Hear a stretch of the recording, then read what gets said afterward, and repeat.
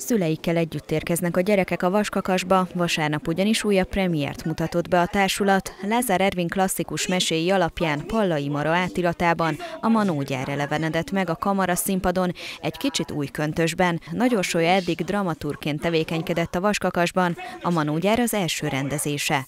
Van egy különleges kerettörténetünk, ami kifejezetten ehhez az előadáshoz született meg, ugyanis egy kutatócsoport érkezik meg a Vaskakas Bábszínházba, és ők azok, akik uh, tulajdonképpen a manókról és a félelemről összegyűjtött kutatásaikat most így egy történeten keresztül megmutatják nekünk.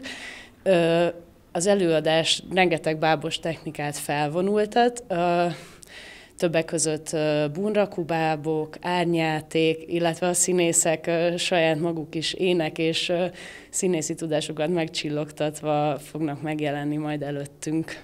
Mert hogy félek piszkosul, mert hogy félek piszkosul, Félelme mindenkinek van, a történet főszereplőjének Zsuzsikának is, például az ijesztő szomszédasszony Murmura néni, aki egy délután vigyáz a kislányra.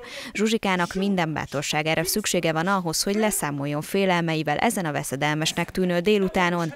Ebben vannak segítségére a manók. Félelmei mindenkinek vannak, legyen az a valaki felnőtt vagy gyerek, és tulajdonképpen az a lényeg, hogy ezeket merjük magunkból kifogalmazni, és tanuljuk meg őket kezelni vagy legyőzni.